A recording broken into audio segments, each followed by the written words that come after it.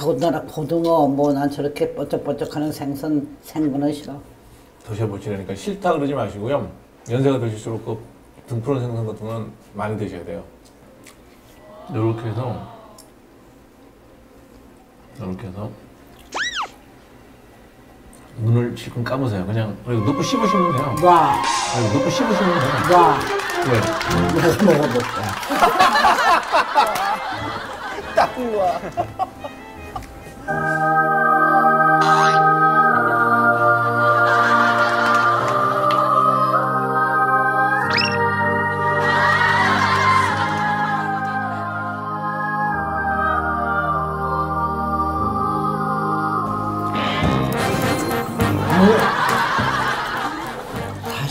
네. 자네가 입이 좀 까다로운 사람이잖아. 안 먹는 숫자가 먹는 숫자보다 많어. 이 제가요? 반찬이 제가 안 먹는 게 없는 사람인데 왜요? 먹기는 먹어도 단소리를 하지 전에도 보면. 그래서 사실 반찬 해주기가 싫어. 밥 해주기가 어려워. 그래서 오늘 저녁에도 이걸 어떡하나 하고는 이제 생각 다 못해. 저녁은 오면은 해줘야 되겠고. 그래서 그냥 더운데도 불구하고 또 나갔어요. 나가서 이제 낙지 사고, 오, 음, 모시 조개 사가지고 저 그 뭐야 저. 또 쉬운 거 끓이시려고? 그만큼 내가 자- 자네 오면은 나 혼자 같으면은 뭐 간단하게 먹고 어떨 땐 저녁 안 먹기도 하고 말이야. 수영 갔다 와서 그냥 이렇게 먹고 그냥 저녁 때우고 얼마나 편해. 자네 온다 그러니까 내가 그냥 짧은 솜씨로 음, 그걸 또 비율을 좀 맞춰서 헤매길래니까 어떻게 신경이 쓰는지. 뭐 사이 온다고 특별히 거 없네 그러면. 아이 그래도 낙지 좀 해놓으신 거 전부 다네요. 낙지 자체 하나만 가지고 얘기하는 게 아니고 음. 이걸 뭐를 해주라 하고 고민을 하다 뛰어가서 낙지를 산다는 게 중요한 거야. 그럼요, 그게 중요한 거예요. 그게 얼마나 생각도 많이 했죠. 그렇지. 그다음에 고민했지. 장보러 가느라고 걷기도 하셨죠. 그렇지. 땀 사이가. 오니까 사이가 오니까 건강해지시잖아요, 그러니까. 건강해져. 안 그러면 집에 있어도 가만히 누워 계셨을 거 아니에요. 고민을 했는데 그게 건강해. 그 정도는 고민이라고 하지 않고 행복한 그래서 이제 이걸. 맥주 한잔 하실래요? 왜요? 술잔 술잔 싫어. 드셔보시지도 않았잖아요. 먹어보면은 써. 그렇다고 어디 연애할 가서. 때술 안 먹었어요?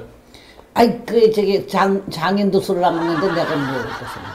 저기 그 친정 그 권신에는 술 잘 먹잖아요.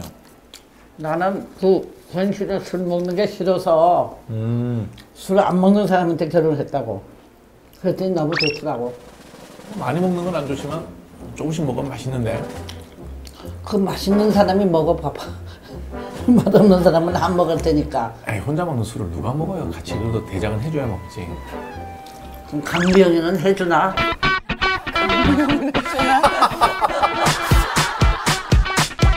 잘 먹어요. 그 함식을 시집을 가서 그래. 저는 한 번도 술을 먹인 적이 없어요. 그 어디서 배웠어? 얼마나 드시길래? 뭐 친구들한테 배우더니 맛있다 그러고 요즘에는 저녁에 저기 산책하거나 운동하고 오면 맥주 한 잔씩 지갑 꺼내 놓고 먹자 그래요. 나는 안 먹어준다고 그래요. 아, 먹지 말라 그랬는데. 오늘 오랜만에 사이랑 이렇게 좋은데 조촐한 데 왔는데 응? 한 잔 드셔보시죠. 나 혼자 먹으라면 무슨 맛으로 맥주를 먹어요. 맛있게 그러면. 맛이에요? 아, 우리 장모님 역시 사이 맛을 잘 떨어요. 하여 백년 손님인데 내가 대우는 못 해주나마. 그렇죠. 사주는 거는 먹어야지, 그죠? 주는 거는 먹어야지. 네. 그거 아니지, 얘가. 네.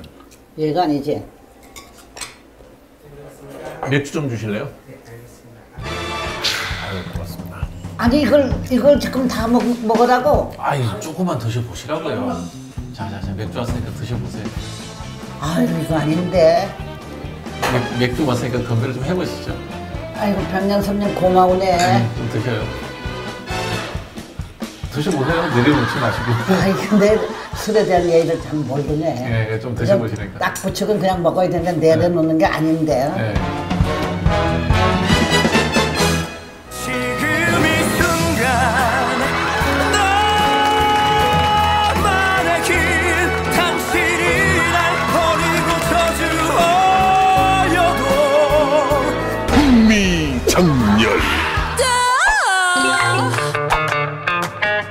항상 2년에 한 번 정도 가지 않았나.